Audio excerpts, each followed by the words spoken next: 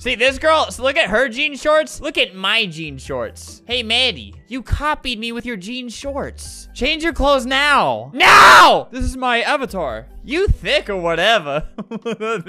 Thanks. Those are amazing. I just bought them, thank you. Then Maddie had to copy. She's a copier, right, guys? Maddie, change.